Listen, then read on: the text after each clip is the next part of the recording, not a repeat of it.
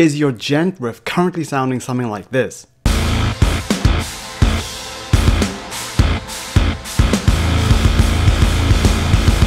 One of the most common faults in djent is that all the emphasis is placed on writing a crazy rhythm, but then that rhythm is often played on one note. How disappointing. So here's a hack from the new Meshuggah single to fix this fault. Meshuggah use arguably the most djenty scale, the octatonic. This 8-note scale is made by repeating the pattern of one semitone followed by one whole tone.